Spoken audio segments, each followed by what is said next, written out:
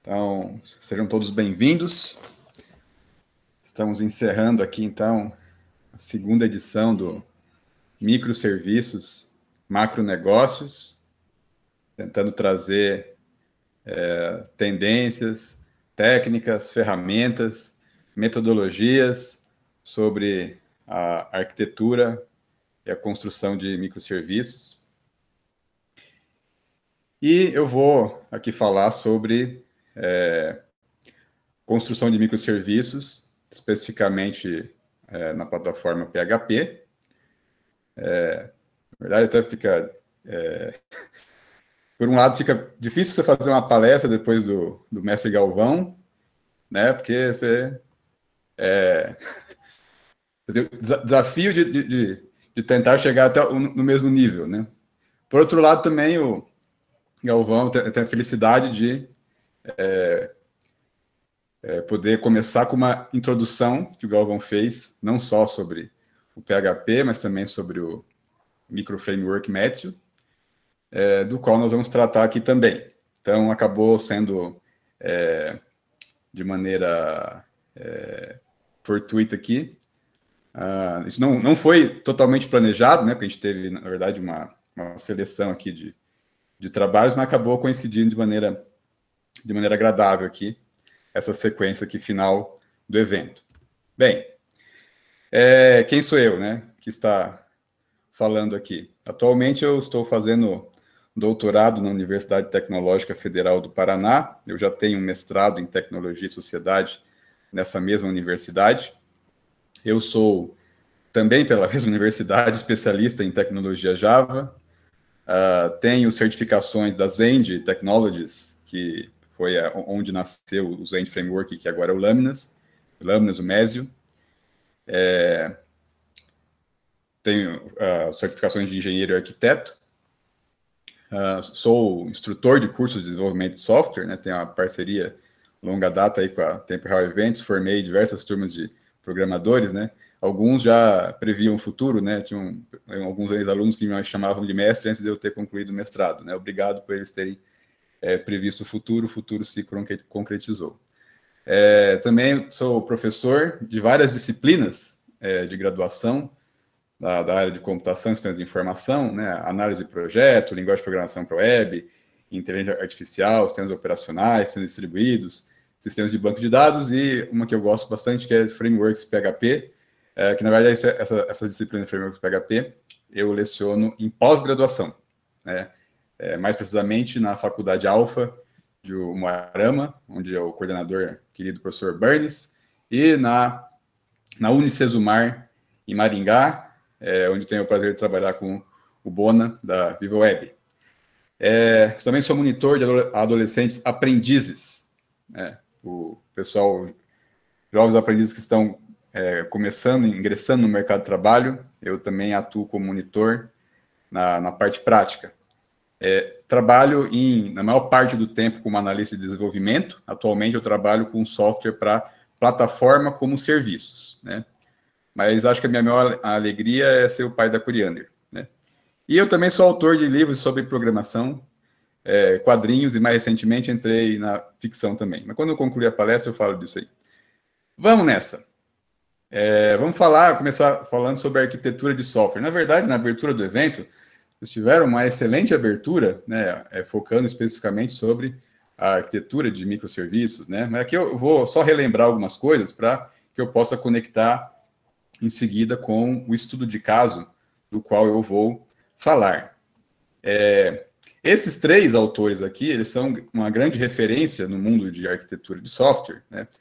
O livro deles, Arquitetura de Software, é praticamente é, figurinha carimbada em qualquer texto que é, assim, queira ter a coragem de falar sobre arquitetura de software. Né? Inclusive, é um assunto que eu creio que no Brasil ele não é muito explorado. Né? Parece que nos Estados Unidos e Europa é, se, se leva um pouco mais a sério a parte de arquitetura. Né? Aqui o pessoal se preocupa com a, com a, engenharia, que é a questão de, ah, eu, eu preciso entregar né, o produto no prazo, a questão quantas pessoas eu preciso para fazer isso, mas a questão do produto, a, a preocupação com o produto é, não somente ser criado, mas ser mantido, ser fácil de, de, de mudar, é, poder evoluir, crescer, uh, isso eu, é, infelizmente, não vejo, sim, muita preocupação. É claro que você tem, né, é, assim como foi mostrado por alguns dos palestrantes, assim, algumas empresas que é, investem em arquitetura de software. Mas é, o Baso, Clements e o Casman, eles é, trazem o seguinte aqui, né, com relação à definição desse termo, né? Eles falam que a arquitetura de software de um sistema é um conjunto das estruturas necessárias para você raciocinar sobre o sistema, né? E isso compreende elementos de software, as relações entre eles e as propriedades de ambos. Quando a gente fala que é um conjunto de estruturas necessárias para raciocinar sobre o sistema, isso quer dizer que a arquitetura de software ela tem que permitir que você consiga compreender o sistema. Que pesadelo é quando alguém entra no meio de um projeto e não, assim, não tem a menor, ele não tinha a menor ideia já, porque ele não participou do começo do projeto, de como aquele projeto funcionava. Mas o pior é que mesmo após ingressar no projeto, ele passam-se dias, às vezes semanas, ele continua sem entender como aquele projeto funciona, como aquele sistema funciona. Ele não consegue raciocinar sobre o sistema. Então, isso mostra uma falta de arquitetura de software. É, e esses autores, eles enfatizam que ter uma arquitetura de software é importante para que você tenha um modelo de desenvolvimento de software de sucesso. É. Ah, na verdade, a arquitetura que nasceu é, mais apropriadamente ligada à construção de prédios, né, de edifícios, de cidades, é, ela foi absorvida por várias outras disciplinas, por várias outras áreas, né, e mais recentemente pela computação, né, porque a arquitetura lida com estrutura, lida com organização, lida com a manutenção das coisas. E é importante não somente você construir algo, mas mantê-lo, né, mantê-lo funcionando. É, e um, um fato que esses autores aqui levantam é que nem todas as arquiteturas são boas arquiteturas, porque também você pode dizer, ah, é, está falando então que tem sistemas aqui que não têm arquitetura? Eles até têm, né? Na verdade, acho que a maioria dos sistemas tem alguma arquitetura. O problema é que nem sempre essas arquiteturas elas são boas. Assim como você tem na construção civil é, você tem uma série de edificações que estão de pé. Isso não significa que elas são adequadas, né? significa que elas são é, agradáveis de se habitar, é, ou agradáveis à vista também. Né? Uh, você tem é, construções que elas foram feitas de maneira precária, elas estão de pé, elas, vamos dizer assim, funcionam, né? o, o propósito principal delas o objetivo principal, que é dar moradia, né, um espaço para a pessoa poder morar, foi satisfeito, mas isso, ela, ela tem vários problemas que acabam tornando o, o, a, o objetivo principal uh, menor. Elas reduzem a satisfação do objetivo principal. Né? E uma boa arquitetura, ela tem que trazer satisfação. Satisfação não só para o usuário, mas também para o desenvolvedor do software, né? para todos aqueles que estão envolvidos na construção de um, de um sistema. Então é bom é, pensar nisso aqui. Bem, eu vou aqui talvez rever né, alguma coisa que a gente viu no começo do dia, né? Ou talvez já esqueceu, né? Porque assim, tem, tem tanta informação é, variada e diversa. É, mas é bom sempre lembrar, enfatizar. Acaba até sendo um exercício para nossa, né? É isso mesmo, né? Agora estou me lembrando. Ah, então, na, na, abertura do evento, né, na excelente palestra que a gente teve aqui, ah, mencionou-se um produto né, da Google Kubernetes, que inclusive é um produto com o qual eu trabalho, que eu vou falar aqui no, no estudo de caso. É, na, na, documentação do Kubernetes, né, entre outras coisas, existe um, um, pequeno material que é como se fosse um tutorial de introdução a, a essa ferramenta, em que tem uma, uma pequena história aqui, em que o Jazão, o Jazão dos Argonautas, ele, ele já não é mais um, um, herói mitológico, né? Ele já deixou essa carreira e agora ele trabalha com desenvolvimento de software. Né? E ele está com os problemas de arquitetura ali, uns desafios na, na, na, na, construção, manutenção, entrega dos seus sistemas, e de repente aparece a deusa Atena, né, a deusa da sabedoria, e ela leva o Jazão para uma viagem para apresentá-lo a uma solução melhor para poder manter os seus sistemas. E aí ela apresenta aqui, primeiro ela fala sobre a questão da arquitetura monolítica, vocês já viram, né? Então, é, aqui é claro que a, a história é um pouco, tem um pouco de humor, né? a Atena diz assim, né, bem-vindo a um tempo antigo, né, muito tempo atrás, né, quando tênis plataforma era popular, Game of Thrones estava na segunda temporada, e as aplicações monolíticas regiam a Terra. Né? Isso aqui é uma piada porque, na verdade, ainda existem aplicações monolíticas, né? não, não é num tempo antigo aqui.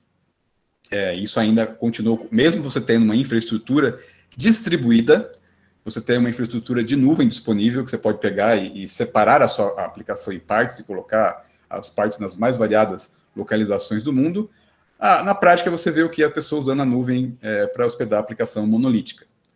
É, e a deusa Atena, aqui nessa história, ela fala que é, os monolitos, né, as aplicações monolíticas, elas, por um lado, elas têm um conjunto de funcionalidades impressionante, só que as partes dessa aplicação são interdependentes, né, e a integração à aplicação torna-se um pesadelo. A proposta aqui que ela coloca é que você tem que pegar essa aplicação, separar ela em processos individuais né, e colocar esse monstro monolítico sob controle. Uh, e aí que vem a questão da arquitetura de microserviços, né? Tentando resumir aquilo que vocês já viram aqui e relembrando também, né? Os microserviços, né, como fragmentos de uma, uma grande aplicação, né, como microsistemas de um, de um sistema maior, eles têm uma vantagem pela sua, é, pelo fato de serem reduzidos, né? Eles podem ser depurados, atualizados e implementados individualmente. Ah, sim, eles podem fazer isso é, não só porque eles são pequenos. Eles podem fazer isso por uma é, característica que vocês, espero que vocês se lembrem, que vocês ouviram essa palavra, pelo baixo acoplamento que eles têm. Né? Então, não, não, não, não basta você ter um, um, um componente, uma parte pequena um sistema tem que ser fracamente acoplado, porque ele tem que ter essa capacidade de, de, de certa maneira, de ter uma autonomia. Então, ele consegue funcionar como uma parte independente. E aí você consegue testar a estabilidade desse componente, independente da estabilidade do sistema completo. É, essa é uma característica é, importante dos microserviços. Bem, a ideia da arquitetura de microserviços é permitir né, a construção e a manutenção de uma aplicação orquestrando serviços. É, essa, esse termo aqui é uma analogia com a orquestra sinfônica. Né? Então, numa orquestra sinfônica, você tem diversos instrumentos. Cada um desses instrumentos ele pode ser tocado é, sozinho, né? pode fazer um solo, Uh, mas o maestro reúne os instrumentos numa orquestra e coordena eles para que eles produzam uma única composição musical, uma sinfonia. Então, o maestro aqui, ele é como se fosse um serviço principal, um serviço que, que coordena os demais serviços para produzirem um resultado completo. Cada serviço, cada microserviço entrega um resultado. Só que aquele resultado isoladamente, ele não é propriamente assim um serviço completo, ele não é propriamente uma funcionalidade que é, pode ser mapeada como uma, um requisito é, completo do negócio do cliente.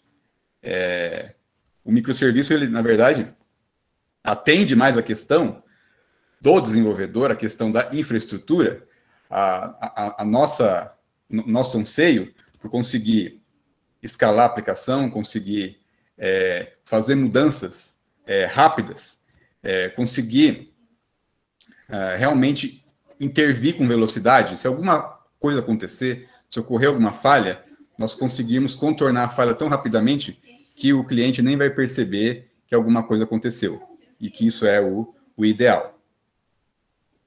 Bem, é, um aspecto que a gente tem que pensar na arquitetura de microserviços, né, é que assim como na orquestra, né, a gente não espera que todos os instrumentos estejam sendo tocados ao mesmo tempo.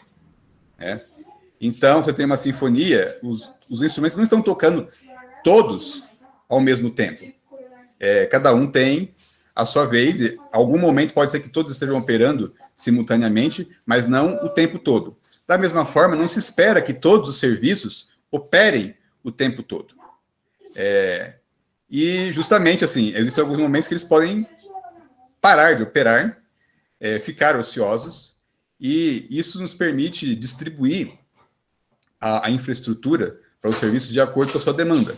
Você não precisa pegar e alocar é, todos os recursos para todos os serviços ao mesmo tempo. Você aloca os recursos que são necessários. Então, o serviço pode ter um, uma capacidade computacional maior e o serviço tem uma capacidade computacional menor do que outros.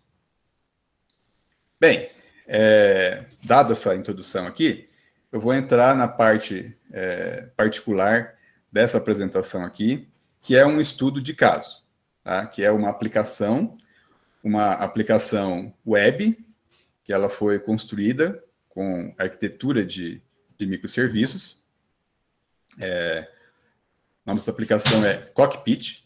Essa aplicação, ela tem como objetivo atender o suporte de segundo e terceiro nível para os sistemas da empresa onde eu trabalho, que é o SERPRO. Tá? É, para explicar um pouquinho, né, quem conhece é, ITIL, né, o framework ITIL de gerenciamento de serviços, é, talvez deva é, saber sobre a questão dos, dos, níveis de serviço. Você tem no, no suporte técnico, no atendimento ao, ao cliente, ao atendimento ao, ao usuário é, de, um, de um sistema de informação, de um serviço de informação, uh, níveis de suporte. Então, você tem o, o primeiro nível, que é basicamente é, governado por scripts. Você tem um atendente que ele não precisa ter conhecimento técnico profundo sobre o sistema.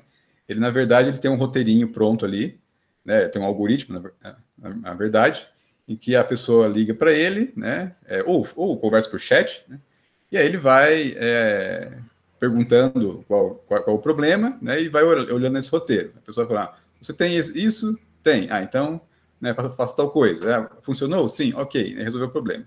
Se ele passou por aquele roteiro e não funcionou, aí ele vai passar para um segundo nível, que aí já é um pessoal mais especializado, que tem algum conhecimento sobre o, o, sobre o sistema, né? E se a coisa ficar feia mesmo, vai passar para o terceiro nível, que aí já é o pessoal que cuida diretamente da infraestrutura desse sistema, a equipe que desenvolve o sistema. Tá? Então, você tem esses níveis. No caso, o cockpit ele, ele é para atender ao pessoal do segundo e terceiro nível. É, o primeiro nível, hoje nós observamos que ele está numa tendência de automatização, né? Porque o, o, o, trabalho de suporte a, primeiro nível, ele é muito repetitivo, né? E pelo fato de usar scripts, você nem precisa de um humano, ele coloca um robô. Um chatbot pega e faz as perguntas, né? A pessoa responde, se, se o chatbot não conseguir resolver, aí vai passar para o humano, né? Porque daí precisa de uma interação é, maior. Bem, aqui nós vemos uma, uma, tem uma visão geral da estrutura desse sistema. É, então, ele tem os, os seguintes é, componentes, né, os seguintes serviços. O Cockpit Web, que vocês veem aí, é o front-end. Então, é um módulo que ele apresenta a, a interface com o usuário, né, as páginas HTML, porque é uma aplicação web, né, o menu, então ele coordena aqui a parte de apresentação, é, da, da camada de apresentação. Né, se for pensar no framework MVC aqui, né, isso aqui é, é, a letra V do, do, do MVC. É aí você tem um outro módulo aqui que é o Cockpit Monitor. O Cockpit Monitor é um módulo que ele é, extrai informações do Kubernetes. Tá? A gente tem um, uma, uma, nuvem é, que, tá, que ela utiliza o clusters Kubernetes para hospedar aplicações. A gente tem, uma, tem um, algumas centenas de sistemas hospedados é, nesses, nesses clusters. E o pessoal do suporte, de segundo e terceiro nível, para ter acesso essas informações. É, o Cockpit Monitor, através de uma ferramenta chamada Report Cube, ele é, extrai as informações é, da infraestrutura das aplicações que estão hospedadas em clusters Kubernetes. É, o, essa é uma parte específica, é, o Cockpit Monitor, ele interage é, com um, um, sistema, com um terceiro sistema aqui, né, que é o Kubernetes. Aí tem um outro módulo, que é o Cockpit API, o Cockpit API é, é um, um, um serviço que ele interage com bancos de dados. É, existem dois bancos de dados aqui, que é o PAS, que são, é um banco de dados que tem informações é, de cadastro sobre a plataforma como serviços, né, na verdade, os sistemas que eles estão hospedados em nuvem, eles têm um cadastro que tem é, as informações sobre limites, né, limite de CPU, limite de memória RAM, é, limite de storage, é, e tem um outro é, banco específico, que é esse ChatosDB. É, esse ChatosDB é porque existia um, um, sistema legado ao qual o cockpit ele mantém a integração. Esse sistema legado aí, que era o, era o Chatos, é, ele mantém informações específicas de monitoração. É, existe também um módulo aqui que é o Cockpit DB MGR. Esse é um, um na verdade, um, um, programa que roda em cronjob. Ele é, ele é executado né, a período, em, em períodos é, de tempo para extrair dados é, de alguns sistemas de monitoração, como o Prometheus, né? Assim, vocês ouviram falar dele brevemente na abertura. Diga. Parece que tem algum. Eu procurei aqui. Eu, não é, é aí que está acontecendo um ruído atrás? Um ruído aqui atrás? É, Pera alguém aí, mexendo, eu, tipo na cozinha. Deixa, deixa eu, vou, eu, vou me, eu vou me deslocar aqui para ver se, se melhora. É que eu não sei se é aí. É aí, então. Ah, tá. Vamos, vamos, vamos ver se, se é aqui. Então tá. É que começou a incomodar. Aparentemente aumentou o volume. Deixa eu ver. Agora, deu, deu alguma mudança aqui? Tá normal. Tá normal? Ah, beleza. Então vamos. Manda ver. Vamos prosseguir aqui. É... Vocês estão me ouvindo bem ainda, né? Sim, sim. Ah, tá. Ok. Uh, bem, então aqui essa arquitetura aqui do, da aplicação Cockpit. Uh, o Cockpit DBMGR, conforme eu falei, então, é um cron job, ele faz extração de, de, de é, dados do Prometheus, né, uh, que são armazenados é, logs da, da aplicação. Uh, existe mais um, um, um, módulo que, na verdade, é uma aplicação mobile que está planejada, é o Cockpit Notifier, né? Ele ainda não, é, não, não, está concluído. Né? Então, teria duas interfaces, pelo menos, para esse sistema, né? Atualmente, interface web mesmo, pode ser aberta no, no browser, e uma interface planejada para dispositivos móveis. Bem, agora eu vou mostrar o que está por trás desses, é, desses módulos aqui do sistema. Cockpit Web, Cockpit Monitor, Cockpit API, API Cockpit DB NGR, são aplicações PHP. Tá? Os bancos, que são bancos PostgreSQL, tá? E o Report Cube aqui é uma aplicação feita em, em Golang. É, ela é feita em Golang porque o, o, Kubernetes é feito em Go, né? E o Report Cube ele faz acesso direto à, à, à API do, do, do Kubernetes. Né? E aí o Cockpit Monitor ele é, faz a leitura do, dos dados do Kubernetes via Report Cube. Então, é, aqui nós temos o, o PHP, é, cada um desses, é, dessas, desses módulos aqui, é, dessa aplicação, eles são microserviços. Eles funcionam de maneira independente. Na verdade, é, eu posso a, utilizar o Cockpit Monitor é, e o Cockpit API é, sem precisar é, do Cockpit Web. Né? Ah, se, se um deles é, cair também, o outro continua funcionando, porque, é, conforme eu vou mostrar aqui, a, a, hospedagem deles, né, eles estão é, isolados aqui. Bem, como é que é, funciona de maneira assim bem, bem simples, né, a, a, a, infraestrutura dessas aplicações, como, como elas estão hospedadas, né? Elas estão hospedadas num cluster Kubernetes é, e cada uma delas está em um pod, tá? É, o, se eu não me engano aqui, o, o na, na, abertura vocês também viram é, brevemente falar do Docker, né? Se vocês não conhecem o, o Docker, o, o, Docker é uma ferramenta de container, né? Que você é, consegue uh, fazer a hospedagem de uma aplicação uh, com o mínimo necessário para que essa aplicação funcione. Você não precisa é, necessariamente de um sistema operacional, né, de uma VM completa para hospedar sua aplicação. Você pode definir os recursos que você precisa é, e aí é, o Docker ele levanta, assim, um pedaço né, de um sistema operacional, que é aquele pedaço necessário para sua aplicação funcionar, com os recursos que ela necessita. É, o pod, né, que é um conceito do, do Kubernetes, o pod ele utiliza uma imagem Docker, é, mas é, ele é uma unidade dentro da qual né, é, a aplicação está hospedada. Então, na verdade, ela, a, a, o, o pod ele é a execução né, de uma imagem Docker dentro do Kubernetes. É, e aí, cada um desses, desses microserviços, dessas, dessas microaplicações em PHP, ela está hospedada em um pod diferente, que inclusive, assim, eles podem estar em máquinas, em servidores diferentes. Né? Nós temos, né, na verdade, um, um, ambiente virtualizado, nós temos uma série de máquinas em, em cluster, que é, é gerenciado pelo, pelo Kubernetes, e aí nós levantamos as aplicações aqui. Além disso, tem um detalhe, né? O, a, a, vantagem do Kubernetes é que ele tem. É, ele pode criar réplicas dos pods, né? Então, se houver algum problema, assim, com, com o pod, o próprio Kubernetes, ele já, ele, ele cria um novo pod, né? sem você precisar intervir. É, se, é, se, ocorrer algum problema que é, não é um problema que você precise intervir na aplicação, o próprio Kubernetes, ele tem essa capacidade de recuperação. Então ele verifica, ó, destruiu aqui o, né, um, um, uma das réplicas, ele é, já substitui. Então isso já elimina é, um, uma necessidade de uma, uma intervenção uh, manual ali. Bem, e cada pod, né, pode estar numa máquina real é, diferente, porque na verdade tudo aqui está virtualizado. Né? Não necessariamente esses pods estão no mesmo servidor, podem estar em servidor diferente, mas isso na verdade não, não importa, né? É, na, na hora que, eu, que, você publicar a aplicação novamente, é, ela pode estar também em outro local. O Kubernetes que vai gerenciar é, onde que o pod vai ser criado, é o importante é que ele, é, ele seja acessível.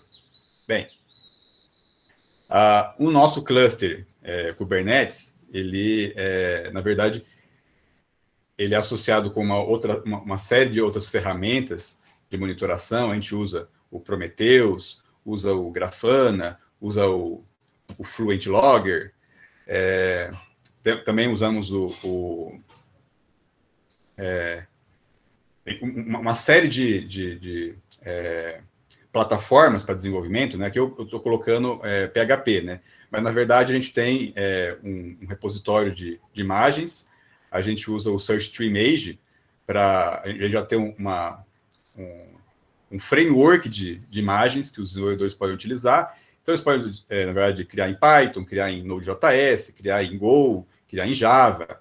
A vantagem da arquitetura de microserviços é que você pode criar uma aplicação uh, com diversidade de linguagem. Você pode pegar e verificar assim, qual que é a linguagem que é, melhor atende a cada tipo de problema, é, criar o um microserviço naquela linguagem e depois conectá-las formando uma única aplicação. É, você não tem, você não precisa preocupar mais com o problema de integração, todas as linguagens, conforme o Galvão apresentou, né? Você cria uma API, né? Todas as suas aplicações conversam umas com as outras via API. Elas é, se integram dessa forma, e aí você, então, usa o melhor de cada uma. Você não precisa pegar e ficar preso somente com uma plataforma, tá? É, então, isso aqui é o estaleiro, vocês podem ter um, um, link aqui depois da apresentação, quando ela for disponibilizada. Vocês podem é, é, ler mais a respeito da nossa plataforma, tá? Que usa Kubernetes. Bem, é, bem, claro, né? A gente tem uma plataforma que a gente é, hospeda nossas aplicações, mas você também tem acesso a, a opções de, de, Kubernetes no mercado, tá? Por exemplo, na Amazon, né? A Amazon tem o Amazon Elastic Kubernetes Service, né, que você pode hospedar é, em Kubernetes. Você tem é, o Microsoft Azure, da, da Microsoft, também tem Kubernetes. Né? Ah, você, você, não precisa, você não precisa criar o seu cluster Kubernetes, tá? Você pode usar um que já está pronto ali, né? Uh, a IBM também tem, o IBM Cloud Kubernetes Service, né? E a própria Google, né? Que foi quem criou o Kubernetes, né? Se você quiser usar, né? Da criadora do Google, tá lá. Né? Então, essas são as opções aqui que você tem para utilizar o Kubernetes, onde você poderia fazer é, uma hospedar uma aplicação da forma como eu criei aqui o cockpit. Bem, e como que eu desenvolvi essas, é, esses, essas aplicações uh, para o cockpit, né, esses microserviços. Eu usei o Laminas Mesio, né, o Laminas Mesio do qual o Galvão falou na, na outra apresentação. Né? Tem um, um, um micro framework, faz parte do projeto Laminas, é, que é o sucessor do, do, do Zend Framework, já tem uma longa data, né?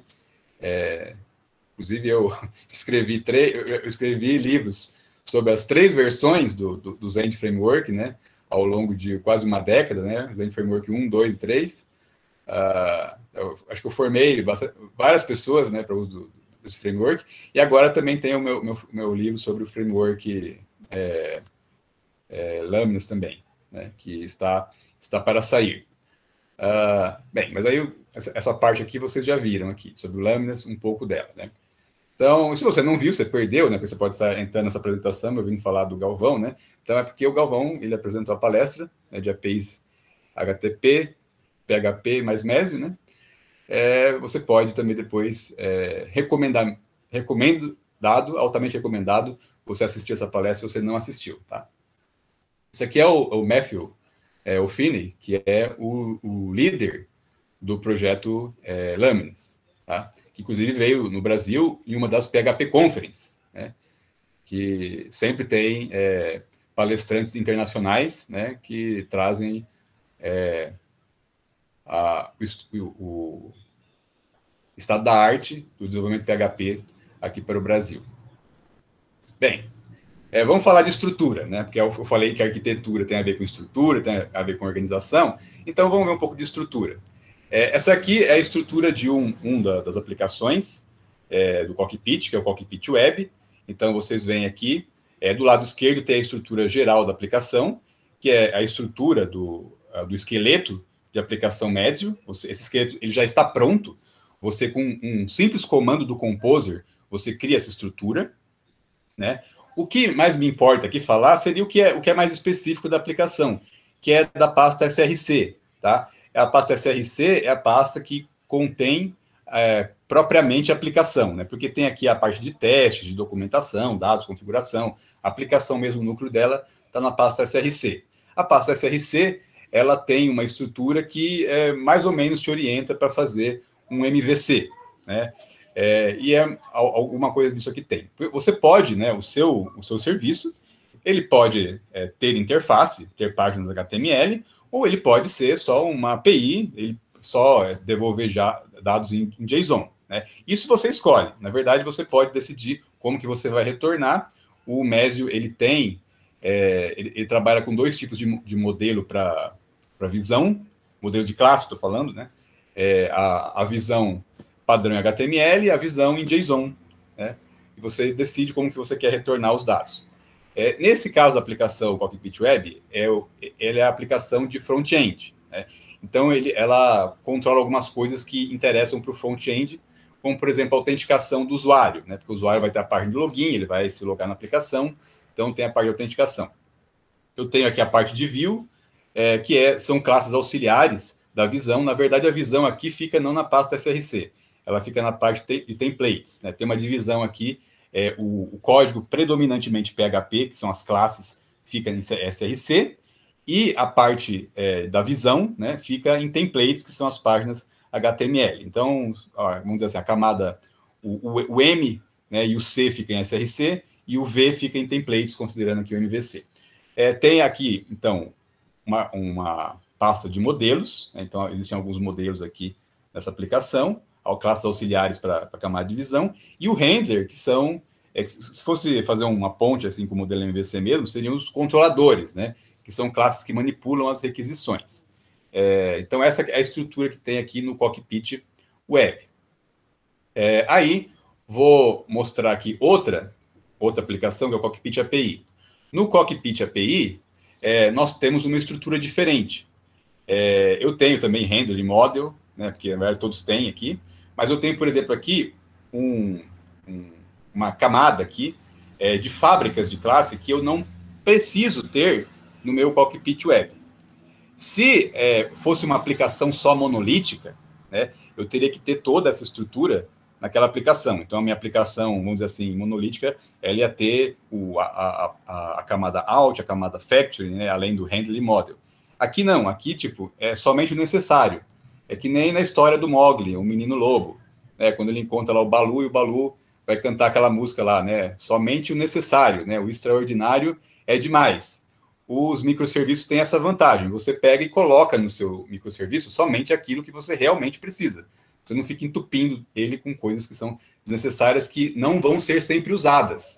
Né? Porque quando você tem um monolito, você tem partes da aplicação que são muito utilizadas, algumas são pouco utilizadas. Né? Mas você tem que deixar tudo ali junto, porque ela uma, hora vai precisar ser chamado. Aqui não, aqui eu coloco dentro do meu serviço aquilo que ele realmente precisa. Tá? Então, no caso da API aqui, eu tenho uma necessidade é, de usar o, várias fábricas de objeto é, que eu não tenho é, lá no front-end. Né? Aqui eu tenho uma maior injeção de dependências. Né? Ah, bem, aí eu tenho outra aplicação aqui, o Cockpit Monitor. Cockpit Monitor é aquela aplicação que faz a, ela, ela consome dados do Kubernetes via Report Kube. Uh, aqui, ó, eu não tenho, não tenho nem factory, nem, nem out aqui, mas eu tenho um, uma camada helper. Né? Essa camada helper aqui, é, ela funciona, é, por que ela existe aqui? Essa camada helper, é uma, é uma ela contém uma série de classes é, que fazem parsing das informações que vêm do Kubernetes. Uh, o, o Galvão falou mal do, do IAML, né? Do, do, formato AML, e o Kubernetes ele usa esse formato extensivamente, o IAML. Né? As saídas do, do, do, do kubectl, que é a ferramenta de console do, do Kubernetes, né? É, você tem a opção lá de, de, de é, exibir né, os objetos do Kubernetes, eles, o, padrão, o formato padrão, é o IAML, né? Então eu tenho que pegar esses IAMLs, né? E eu é, processar, né, transformar é, em objetos que possam ser consumidos pela, pelo cockpit é, web, né? Que vão ser é, utilizados pelo técnico de suporte. Né? Que, assim, a maneira como o dado é consumido diretamente do Kubernetes é um pouco confusa e até ilegível, né? o meu, o técnico de suporte, ele tem que pegar as informações é, de maneira bem amigável para poder descobrir qual, qual, qual, é o problema no sistema e poder atender o usuário. Então, esse cara aqui ele faz um, um trabalho de tradução. Né? Uh, então, observe então que nós temos aqui, é, assim, apesar de eu ter a mesma estrutura básica, porque o framework é o mesmo, eu tenho diferenças específicas nessa arquitetura e, é, observando bem, eu tenho poucas, assim, poucas camadas aqui, né?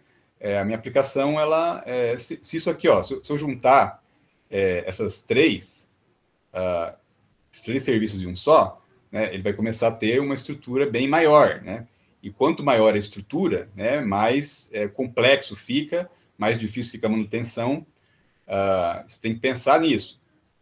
Né, a manutenção do meu sistema. Né? Eu posso, sim, se eu quiser, é, se eu precisar fazer uma intervenção é, e essa intervenção é, ela tiver relação somente com o serviço Cockpit Monitor, eu não preciso parar o Cockpit API nem o Cockpit Web. É, eu vou interagir somente com o Cockpit Monitor. Eu vou publicar somente uma versão do Cockpit Monitor. Eles têm ciclos de vida independentes, os microserviços. Então, eu não preciso ter, pegar assim, eu, eu, ah, tem, tem, tem uma mudança em uma parte da aplicação, eu tenho que lançar uma versão nova da aplicação toda sendo que só uma parte dela mudou. Não, eu vou lançar uma versão nova da parte que mudou, não da aplicação inteira. Tá? É... Beleza, seguindo aqui em frente, é... só que uma observação, né? Ah, legal, eu consegui, sim, reduzir, né? A complexidade, porque eu reduzi o tamanho das coisas, né? Ou a quantidade de coisas necessárias para a minha aplicação, mas eu não eliminei a complexidade, tá? Aqui do lado é, direito, é, eu estou mostrando o diagrama de classes de um desses módulos. É, vê que o diagrama aqui é tão grande que não dá para mostrar direito aqui no slide, é, dada a quantidade de classes que tem. É, é, claro que, assim, algumas dessas classes aqui têm ligações com classes do framework. O framework tem... É, o, framework já permite uma grande terceirização é, de serviços na minha aplicação. Né? Quando você usa um, um framework, você está procurando, é, na verdade, a implementação de padrões de projeto. Né? Os padrões de projeto são soluções é, para software orientado a objetos, né, que já foram é, não só usadas, como testadas várias vezes, é, e elas já estão implementadas nos frameworks. Né? São, são geralmente é, soluções para problemas genéricos, não são problemas ligados ao negócio do seu cliente, que é um, são problemas específicos. Então, para quem você ficar perdendo tempo é, implementando coisa que já, já existe, né? Você pega é, de terceiros que já, já, estem, é, já estão especializados em manter isso, né? Como no caso do, do framework Laminas, você tem uma equipe que está mais de uma década, né?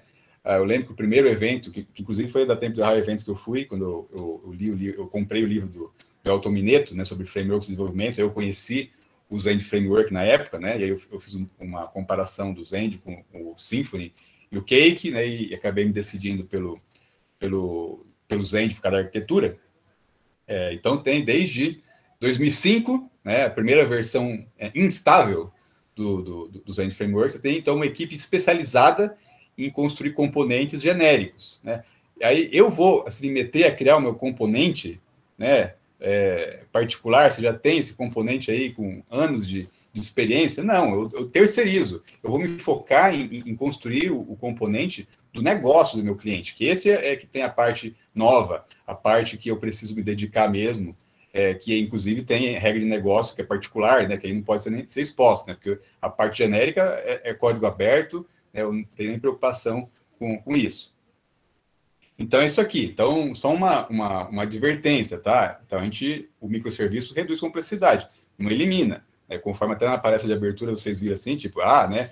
Microserviços né, tem vantagens, mas também tem desvantagens, né? Não é tudo mil maravilhas. Você tem que estar consciente do preço que você tem a pagar por essa arquitetura. Tá. É, outra coisa que é, o, a aplicação possui, né? Todos os módulos têm API. Né? Tem API, é, e essa API ela pode ser consumida é, de, diretamente né, via HTTP aqui, e também elas têm uma página é, construída com Swagger.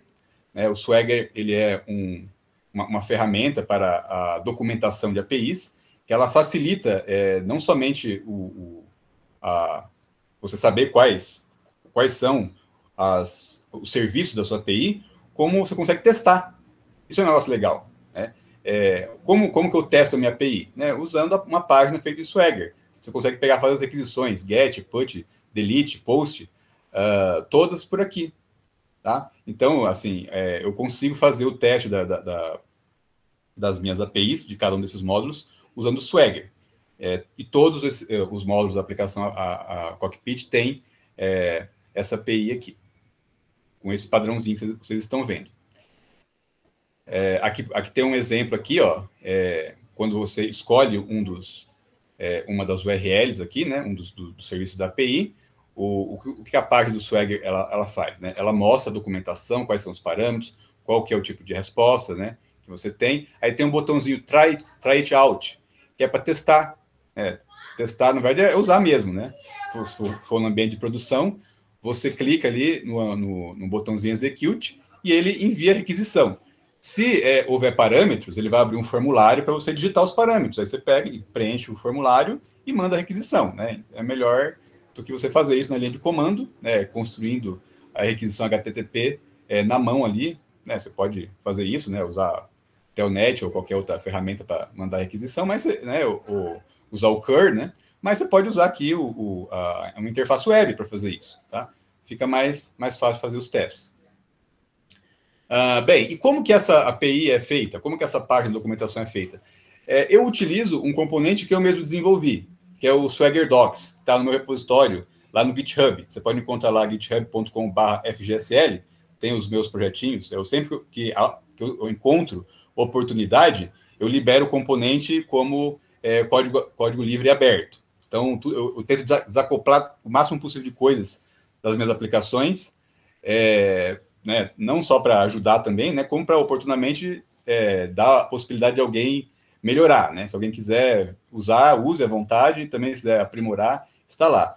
Na página você encontra ali a orientação, como você instala, né? Bem fácil, você instala com o Composer, dá um Composer Require, baixa o Swagger Docs, é, com um simples comandinho ali, tem um, um, binário na pasta vendor, que ele vem, é o FSD. O FSD, você executa ali na linha de comando FSD, ele gera a, aquela parte de documentação, desde que você coloque os blocos de comentário é, do é, que o Swagger exige. Tá?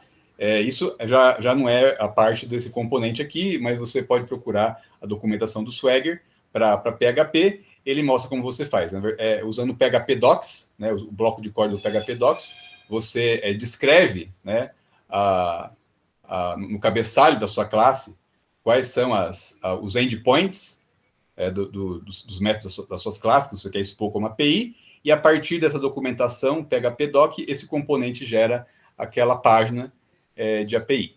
Tá? Bem, é, então aqui eu também vou falar sobre o seguinte, né? A questão das aplicações aqui, vocês talvez queiram ver é, código, né? Ah, bem, o problema é que eu não posso mostrar o, o código completo da, da aplicação, né? É, ele não está aberto. Né? Então, eu mostrei ali a estrutura para vocês tal, né? Porque tem algumas, algumas questões de negócio ali que eu não posso mostrar.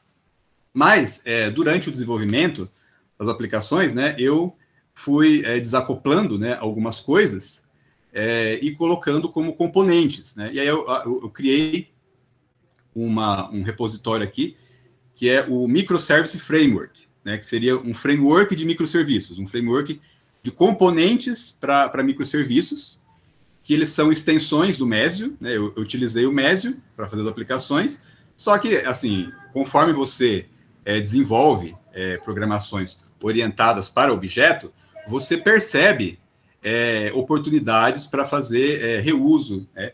É, para você é, que, tem repetições que você pode encapsular em componentes para poder não só reduzir o tamanho ali da, da, da, do código da sua aplicação, como poder reaproveitar em projetos é, futuros. Então, eu criei esse, é, esse repositório aqui, Microservice Framework, alguns componentes que vocês podem também utilizar, está lá no meu github.com.br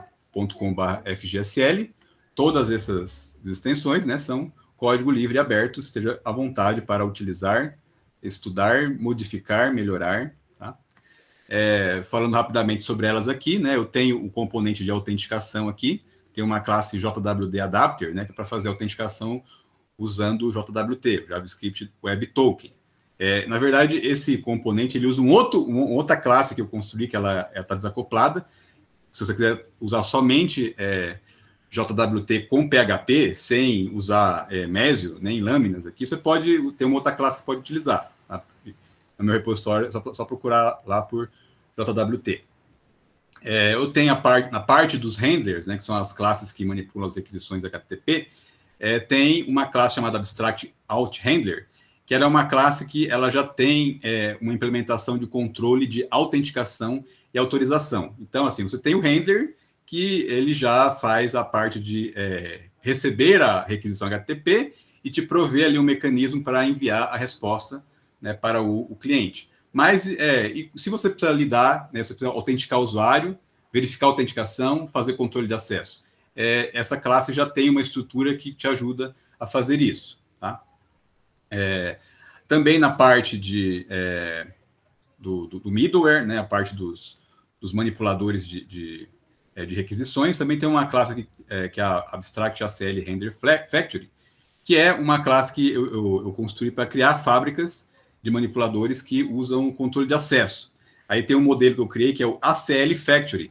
O ACL Factory é para criar um, uma lista de controle de acesso, é, que é, na verdade, apesar do nome aqui, ela é baseada no componente RBAC, que seria um outro modelo aqui. Né? Talvez eu precise depois mudar o nome, mas é, o, o, é um componente para fazer controle de permissões. Ah, bem, também tem aqui ah, uma classe ACL Render, que ela fornece um manipulador para uma página de erro de autorização. Uh, então, assim, se a, a, a pessoa vai é, tentar é, ter acesso a um recurso que ela não tem permissão, é, essa, essa, essa classe aqui, ela ajuda você a criar um mecanismo de lidar com esse, com esse problema, de desviar ela para uma página de erro. Uh, tem também o, o logout render, né, que é para é, o manipulador para saída da aplicação, né?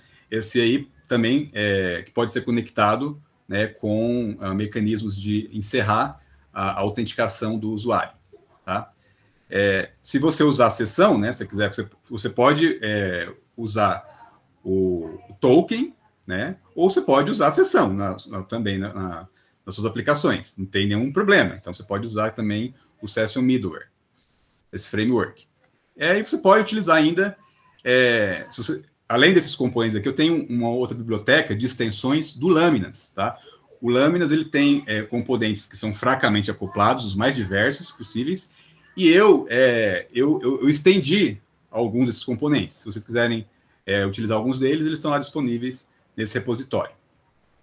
É, se você quiser ainda, assim, ah, é, além da, da, da, arquitetura, da estrutura, se você quiser é, turbinar o seu servidor web, né, você pode usar o Mésio com o Suuli.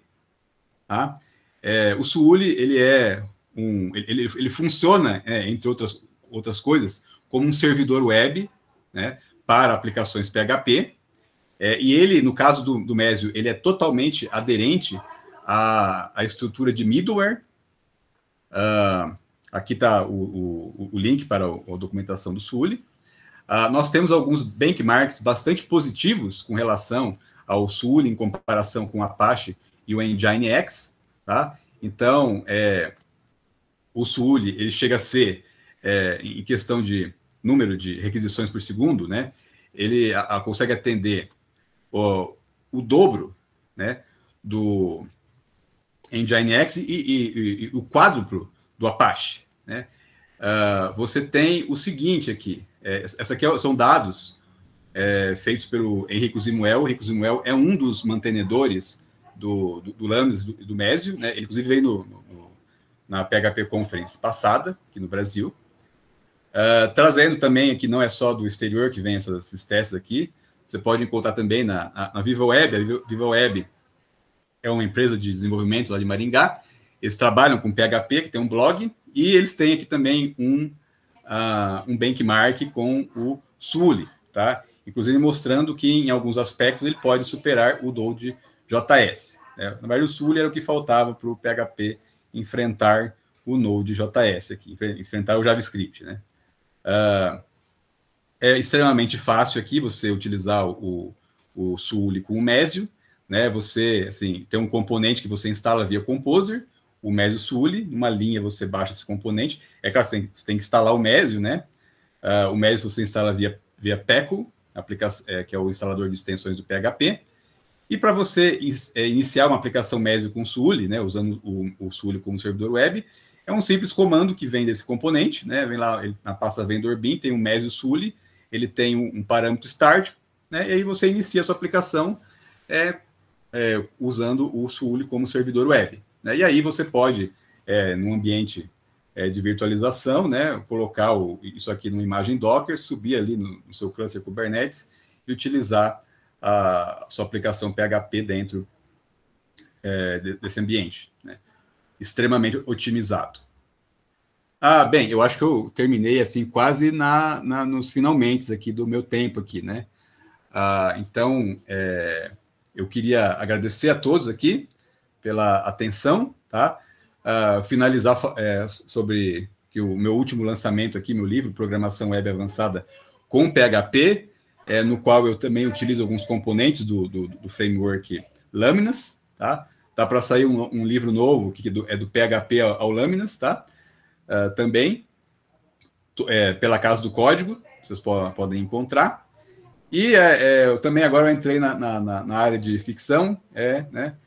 Uh, lancei é, o livro O1, A Solidão e a Harmonia, é um livro de ficção científica distópico, é, está disponível na, na, na casa, no, no, clube de autores, né? no meu site fgsl.tibr, vocês encontram informações sobre os meus livros de técnicos de ficção, de quadrinhos, meus slides de palestras, acesso ao meu repositório de código-fonte, é, vídeos, áudios, tudo que vocês precisarem e também os contatos, lá, meu LinkedIn, quem quiser se conectar, fique à vontade. Então, é, assim encerro aqui né, minha palestra e com ela também o evento. Fico aberto aqui para questionamentos, pessoal. Pessoal, as perguntas podem ser feitas pelo chat ou também você pode abrir o seu microfone, fica à vontade. A gente tem alguns minutinhos aqui. Alguma consideração final, Flávio? É, bem, Estou te, ah. te dizendo isso porque eu percebi que você achou que talvez estivesse atrasado, né? Mas temos alguns minutinhos. Ah, tá. Uh, bem, então, eu estou com o último slide aberto ali da, do, do, meu site, né? Então, é, como, eu, como eu disse, eu tenho, eu, eu, procuro sempre colocar código aberto, né? Tudo que eu construo assim, tem a oportunidade de liberar o código, eu libero, né? Só de, de coisas que realmente são segredo do negócio, eu não, não coloco lá. Mas aí eu tenho é, bastante coisa que eu mesmo uso é, com lâminas e mésio, que vocês podem é, utilizar em projetos. Uh, tem é, também os meus, meus, canais de comunicação ali, que vocês podem. É, a, a, as palestras, todas as palestras que eu faço, geralmente eu coloco os sites no, no SlideShare. Vocês podem também baixar ali. É, tem dos mais variados assuntos, desde mapeamento objeto relacional, padrões de projeto, é arquitetura do, de, de, de software, MVC, uh, várias. É, ô, ô, Flávio, eu, eu, vou, eu, vou, eu vou fazer um pedido para você. Eu li o seu livro, ou você sabe que eu comprei, né? Eu só não te dei feedback, mas eu li. Gostei ah, muito, tá. tá, cara? Gostei Opa. muito. Já indiquei aqui, já até emprestei para minha filha. Ela não colocou na leitura ainda, porque ela tá, tá, não teve tempo, né? Mas é, gostei muito dos personagens, do Pandino, enfim. E tem o Ron também, você não falou do Ron. Pessoal, é, vocês, é, evidentemente, perceberam que a apresentação do Flávio já acabou, mas o Flávio ele tem uma faceta que é muito interessante, que vai fugir totalmente aqui da, da palestra dele, que é quadrinhos, histórias em quadrinhos. Ele tem um livro publicado que você não falou. Se você falou, eu não percebi, que é Ron. Explica para o pessoal quem que é o Ron. E eu acho que você deveria fazer um pequeno resumo disso e do seu livro, ou um, que, pessoal, é muito bom. Mas quem, quem de é. repente não gosta de quadrinhos e já está com o horário apertado, então o evento já está terminado oficialmente, né? A gente agradece a presença, a participação de todos vocês. Durante essa semana a gente vai enviar o certificado e, e outras informações do evento, como o link de gravação e por aí. Flávio, a palavra ah, é sua para terminar aí. Tem uma, uma, um questionamento aqui sobre o benchmark, deixa eu responder ele primeiro aqui, né? Tá, joia, uh, claro. Deixa eu eu voltar o slide aqui do benchmark. É, bem, tem um benchmark que é, foi feito pelo Henrique Zimuel. Essa apresentação aqui ela vai estar disponível no meu SlideShare, né? Então, se vocês anotaram o meu site ali, é só ir lá depois e, e procurar essa apresentação, tem esse link. É, no link do Henrique Zimuel, o, o Zimuel, na verdade, ele fala, é, é, tem mais detalhes sobre o uso aqui do Suli com, com PHP. É, então, ele fez, ele, aqui ele descreve né, o ambiente que ele utilizou, né, de, de, de hardware aqui, de software, para fazer essa comparação. Então, o Sully se mostrou superior. No, nesse caso aqui, ele mediu o número de requisições atendidas pelo, é, pelo Sully. Aí, acho que a outra a pergunta é sobre a, a apresentação da, da Viva Web, né? Então, isso aqui é mais recente, né, desse ano aqui. A, a Viva Web, ela fez um, também um benchmark, né? Lá tem o código, você pode ver o código ali, é, que tem a comparação de resultado. Eles, na verdade, fizeram uma comparação é, não só do, do, do, PHP com Sully, é, com o Node.js, também fizeram com o Go, né? Então, é, foi o seguinte, assim, em questão é, de utilização de memória, né, o, o PHP com Sully, ele se mostrou superior ao Node.js. Então, o, o, o, o consegue consumir menos memória do que uma aplicação no. Quer dizer, a, a, mesma aplicação implementada em PHP com Sully consome menos memória do que a, a aplicação feita em Node.js e em Go. Tá? É, com relação a requisições por segundo, eles também é, perceberam que o, o, o, PHP com Sully é superior a, ao Node.js, né, a quantidade de requisições, né? Enquanto o Node.js é, conseguia atender 21 mil requisições, mais ou menos, o PHP com Sully atendia é, quase 34 mil requisições. É, só que nesse caso, né, ele, quando eles compararam com o Go, o Go, o Go atendeu mais requisições do que o, o PHP. Então, o PHP superou o, o, o Node.js em requisições, mas, assim, ficou é, um, um, um, um, pouquinho abaixo do, do Go, tá? Então, essa, essa foi a, esse foi o benchmark específico da, do, do da Vivo Web, e dá para vocês é, depois verem todos os detalhes lá em, em relação a código? É, acho que eu respondi a pergunta aqui.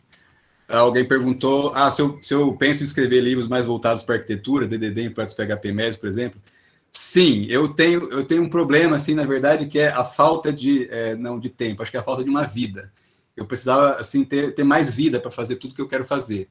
Eu tenho tanto projeto, assim, é, planejado, né, e eu, eu tinha que ter algum poder, assim, que nem do, do multi-homem dos impossíveis, de multiplicar para conseguir fazer. Eu não sei como é que eu consigo fazer as coisas que eu faço hoje. Eu estou fazendo doutorado, é, eu ainda dou aula de graduação, eu trabalho como analista, né, escrevo livro. É, não sei como é que eu faço isso, mas eu, eu, eu, tenho sim, eu tenho ideia de fazer um livro de arquitetura de software. Já, assim, já está planejado, estou com, com, a casca dele, a estrutura. Eu só não estou, eu ainda não falei com, a, com, o pessoal da Casa do Código, porque acho que eles vão me matar ali, né? Porque, tipo, eu acabo um livro, eu já falo que vou fazer outro, né? É, é, não, não, dão conta, assim. É, deixa eu ver o que mais aqui. Uh, teve, teve uma pessoa, teve uma pessoa na, na, palestra anterior, na palestra do, do Marcelo, se não me engano, que fez uma pergunta em relação ao SERPRO, microserviços no SERPRO. Eu nem sei se ela está conectada aqui na sua palestra. Se tiver, se manifesta aqui que o Flávio fala. O Flávio está lá no SERPRO. Bem, é, tem mais uma questão aqui, deixa eu ver, como a qualidade dos frameworks PHP aumenta a cada dia. Vejo que essa é um fator até mais importante que o código, porque o código. Peraí, não entendi aqui. Acho que é até a continuação. Bom, as ferramentas ajudam muito, mas a arquitetura está pegando. Ah, tá. Acho que eu, só, só entendia que a questão da arquitetura ela é mais importante até do que o próprio, do que o próprio código, né? É, é realmente, às vezes você tem assim, um, você pode ter às vezes um, um, uma linguagem, um framework, né?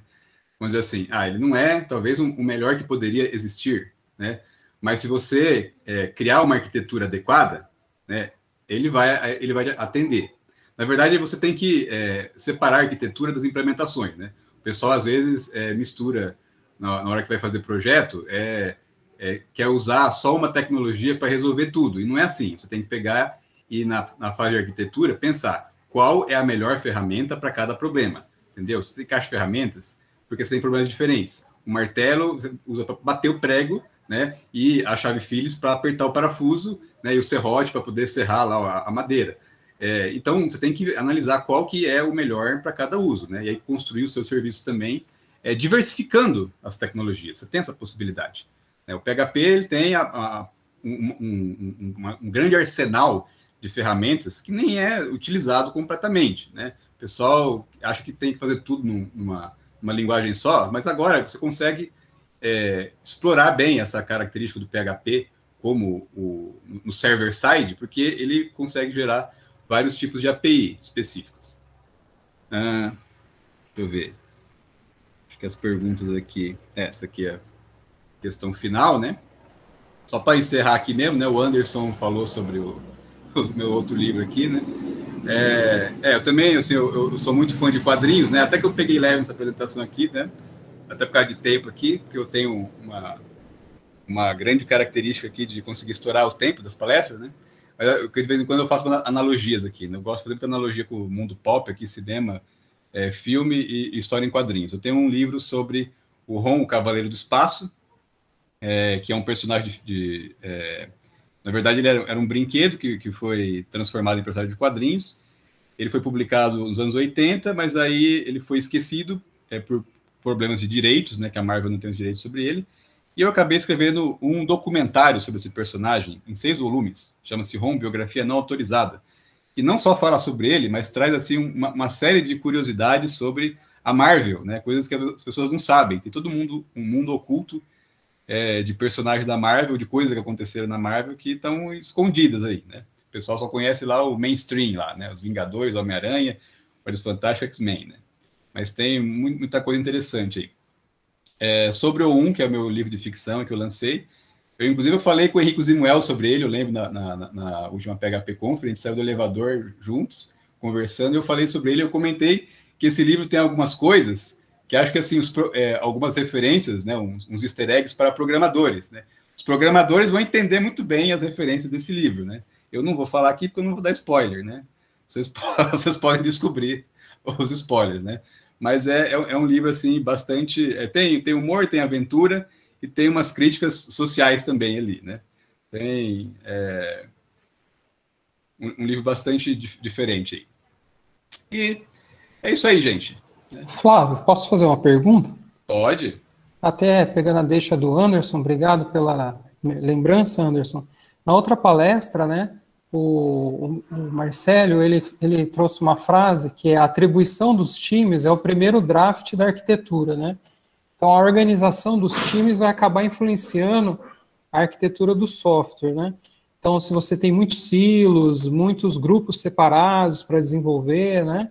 E eu estava comentando com ele essa questão da hierarquia em órgãos públicos, isso acaba é, influenciando, né? Não basta só adotar um framework ágil, né? E aí ele trouxe muito essa questão do Domain Driven Design e como os times são organizados influenciando a arquitetura. E ele citou o SERPRO, que o SERPRO, apesar de ser um, um órgão público, né? Ele tem uma estrutura é bem legal aí para organizar os times. Queria que você falasse um pouquinho disso, se for possível.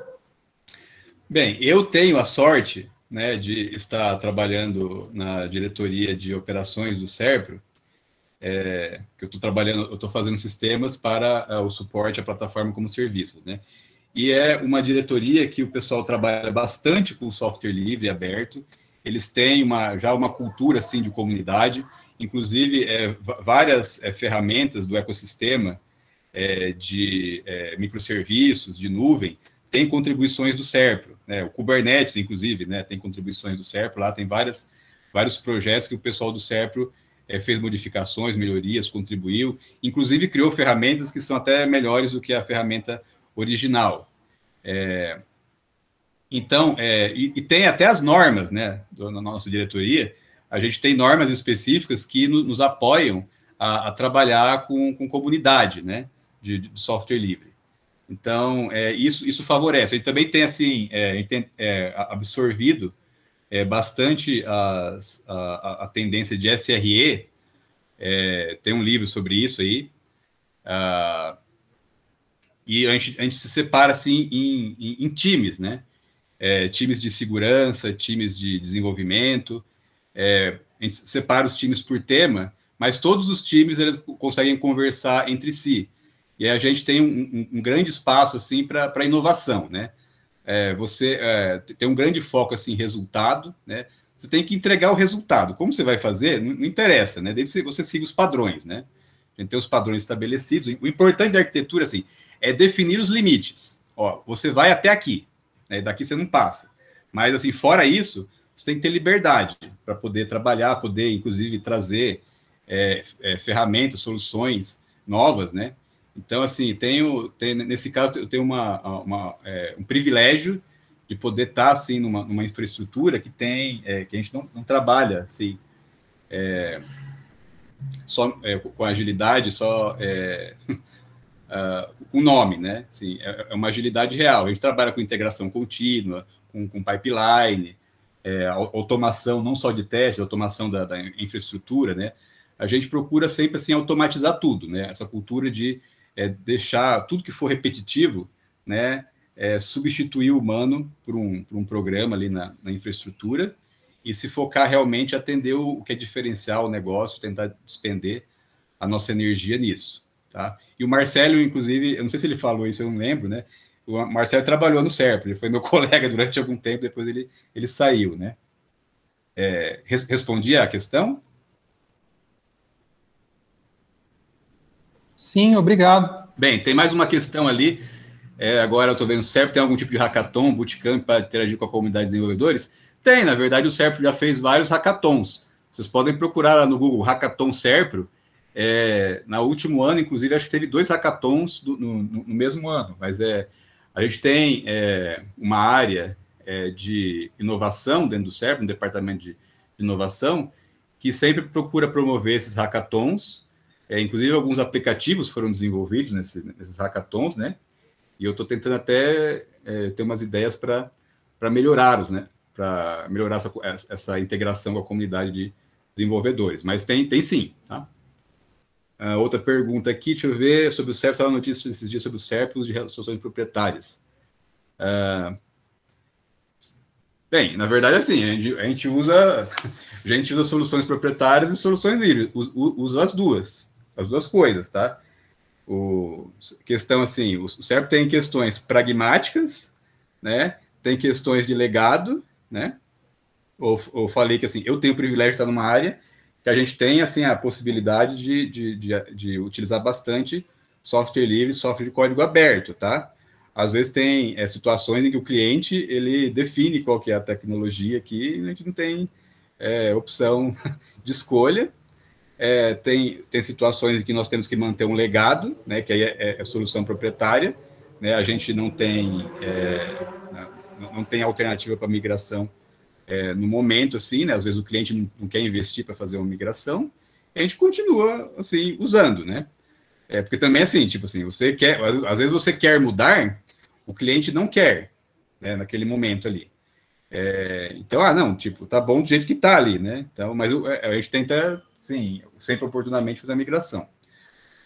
Uh, outra questão, se eu só utilizo PHP ou outras linguagens além do Go, é, então, assim como, assim, a, assim como sendo motorista, né, eu, eu, eu, dirijo qualquer carro, né, sendo programador, eu programo qualquer linguagem, na verdade eu programo em C, programo em Java, programo em Go, programo em Python, programo em JavaScript, é, no, assim, preferencialmente, né, eu gosto de PHP, e se, se eu posso escolher e a, e, e a aplicação é web, né, e ela é conveniente, eu uso PHP, né, mas tem situações, por exemplo, no meu trabalho, que eu uso Go, né, tem uma, até uma demanda que eu estou trabalhando agora, estou usando Go para fazer, tá?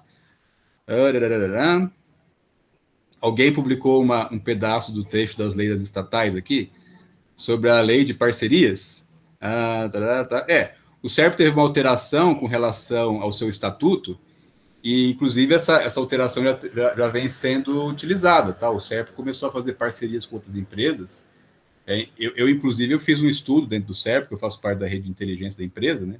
Eu sou pesquisador ah, também, entre outras coisas, acho que eu, eu faço tanta coisa que eu, eu, eu, eu não sei nem como eu durmo, né? Ah, mas essa questão de parceria, sim, o SERP tem parcerias com algumas empresas, né? A gente, inclusive, com, com, a, com a Amazon, né? A gente tem parceria com a Amazon, com a Amazon, com o Google, com, o, com, a, com a Zimbra, a questão do, do e-mail, SERP por e-mail. A questão da abandonar a política de uso do software livre e partir para a dependência tecnológica. Eu sei essa notícia aí. É, o, o Luiz Queiroz, né? Ele, ele, ele publicou o cancelamento de algumas normas que tratam é, de, especificamente de software livre. É, mas na prática, tipo, esse cancelamento. Eu não sei, na verdade, as normas foram realmente canceladas, né?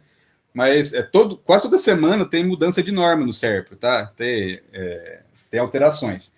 Então, eu não sei o que vai acontecer agora. O que eu sei de fato é que tem um monte de software livre na empresa. Eu, inclusive, tenho é, uma, uma dissertação é, sobre isso, que o meu mestrado foi sobre a produção de software livre no Serpro.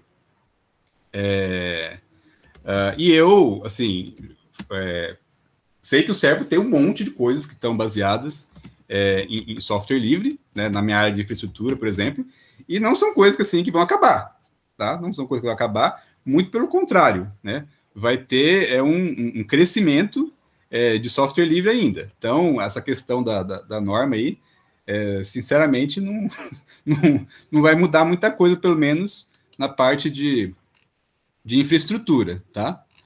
É, eu acho que talvez afete a questão imediata aqui de licenciamento, né? De, de publicar coisas como software livre, assim, não de utilizar as coisas dentro do software livre no, no.